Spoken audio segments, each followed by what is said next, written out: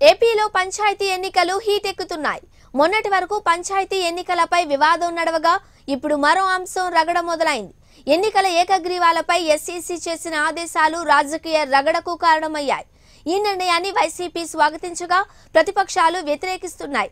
ఏకగ్రీవం వలన గ్రామాలు అభివృద్ధి చెందుతాయని వైసీపీ అంటూ ఉండగా ప్రతిపక్ష నేతలు మాత్రం ప్రజలను మభ్యపెట్టేందుకే ఏకగ్రీవాలని ఆరోపిస్తున్నారు.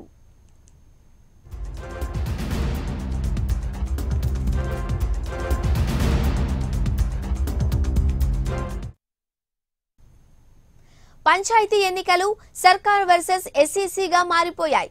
ఎస్ఈసీ నిమ్మగడ్డ రమేష్ కుమార్ అధికార దుర్వినియోగం చేస్తున్నారని వైసీపీ నేత సజ్జల రామకృష్ణారెడ్డి ఆరోపించారు. ప్రభుత్వంతో కలిసి పనిచేయాల్సిన నిమ్మగడ్డ ప్రభుత్వంతో పక్షపాతంగా వ్యవహరిస్తున్నారంటూ మండిపడ్డారు. తనపై వైసీపీ చేసిన ఆరోపణలపై ఎస్ఈసీ నిమ్మగడ్డ కౌంటర్ ఇచ్చారు. రాజ్యాంగబద్ధంగా నడుచుకుంటున్న రాష్ట్ర ఎన్నికల సంఘాన్ని తప్పుపట్టడం సరికాదన్నారు.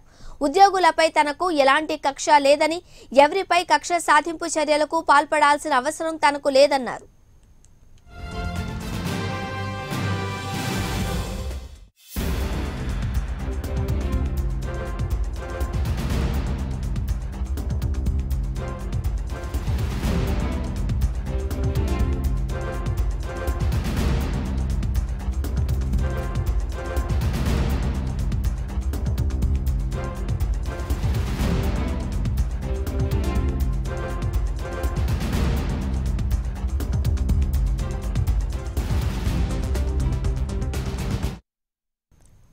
మరోవైపు ఎస్ఈసీ సెన్సర్ ప్రాసెసింగ్ను ఏపీ ప్రభుత్వం తిప్పి పంపింది. గోపాలకృష్ణ ద్వివేది గిరిజా శంకర్లను బదిలీ చేసేది లేదని తేల్చి చెప్పింది.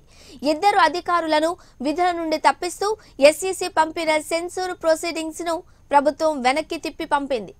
ఐఏఎస్లపై ప్రొసీడింగ్స్ ఇచ్చే అధికారం ఎస్ఈసికి లేదన్న ప్రభుత్వం వివరణ కోరకుండా ప్రొసీడింగ్స్ జారీ చేయలేరంది. ఎస్ఈసి కక్షపూరితంగా వ్యవహరిస్తున్నారని గోపాలకృష్ణ ద్వివేది గిరిజా శంకర్లు వారి వారి పదవుల్లో యథాతథంగా కొనసాగుతారని మంత్రి పెద్దిరెడ్డి తెలిపారు.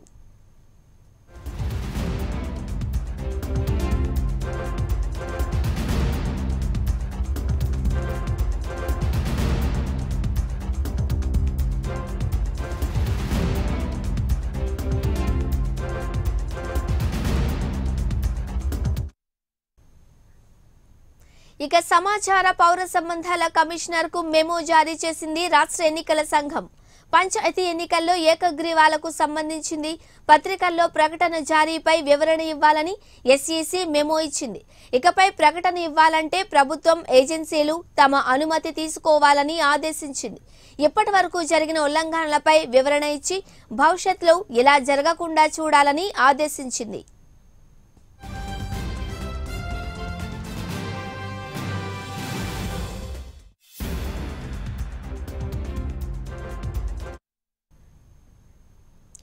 ఏకగ్రీవాల పేరుతో వైసీపీ కొత్త నాటకం ఆడుతోందని బీజేపీ జనసేన బృందం ఆరోపించింది.